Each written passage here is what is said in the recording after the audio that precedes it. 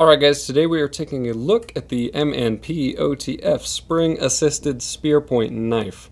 Now, overall length on this guy is 8.875 inches. Blade length is 3.5 inches of AUS-8 steel.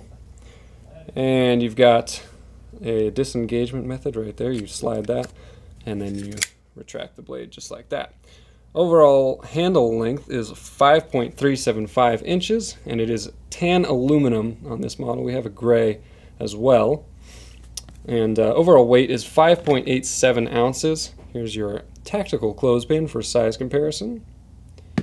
And you've got a pocket clip for tip down right or left-handed carry. So guys, there you have it the M&P OTF spring assisted Spearpoint knife. Go ahead and buy one of these at bladehq.com.